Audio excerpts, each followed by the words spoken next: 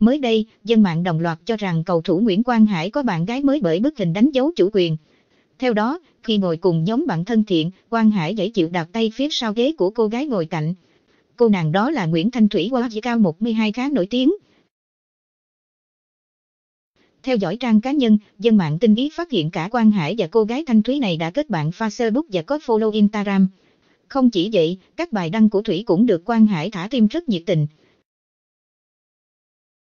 Quang Hải áo trắng, ngồi cạnh Thanh Thủy. Bức ảnh chụp trong một bữa tiệc sinh nhật.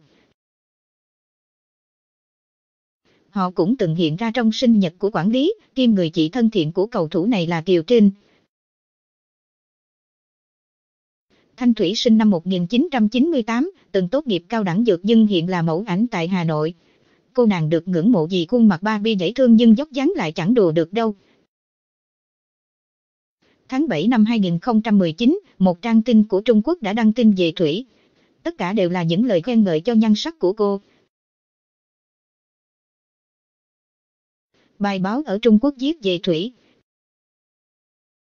Tựa đề bài viết là Hoa Di xinh sáng tới từ Việt Nam, kho vẻ nóng bỏng hết nước cùng bikini trên bãi hồ. Theo đó, tấm ảnh Thủy mặc bikini tạo dáng trên bãi hồ đã khiến dân mạng Trung Quốc xem xét rất nhiều.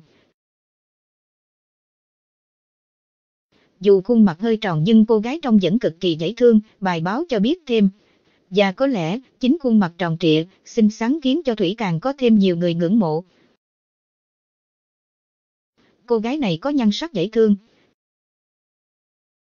Thanh Thủy chỉ cao 12 song nhưng nhờ thân hình cân đối, khuôn mặt dễ thương mà hiện tại cô vẫn rất thành công trong lĩnh vực mẫu ảnh. Thủy cũng chụp lúc bút lãm mẫu cho không ít các cửa hàng thời trang. Trong một bài phỏng vấn, Thủy tiết lộ mẫu bạn trai là biết nấu nướng ăn, sống tình cảm và biết dồ cặp đến người bao quanh và hy vọng chàng trai đó sớm hiện ra. Biết đâu đấy, cô nàng đã kiếm được người trong mộng là cầu thủ Quang Hải. Trước khi dính tin đồn có quan hệ tình cảm với Thanh Thủy, Quang Hải và bạn gái Nhật Lê là cặp đôi đẹp trong giới cầu thủ.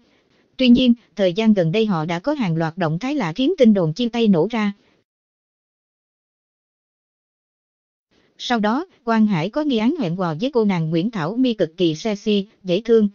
Tuy nhiên, cả hai đã gấp rút phủ nhận tất cả và chỉ là bạn bè.